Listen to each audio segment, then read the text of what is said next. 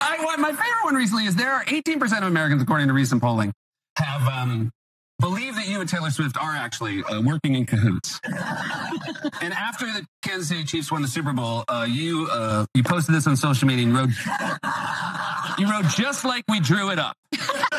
now, can you? I have you on the hotspot here. Can you confirm or deny that there is an active conspiracy between you and Miss Swift? Where are you getting this information?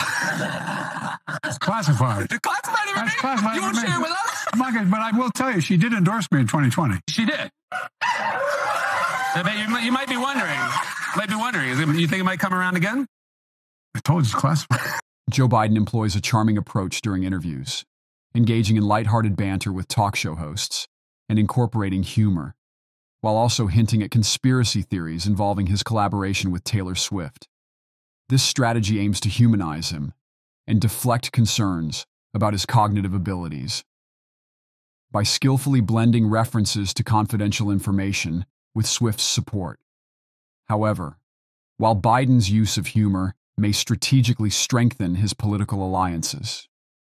It raises questions about its appropriateness, given the serious nature of the issues he addresses as president.